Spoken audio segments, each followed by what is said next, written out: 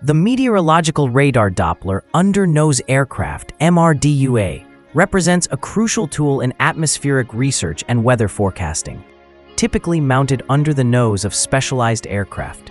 These advanced Doppler radar systems are designed to scan weather patterns, providing detailed information about precipitation intensity, wind speed, and the movement of atmospheric particles.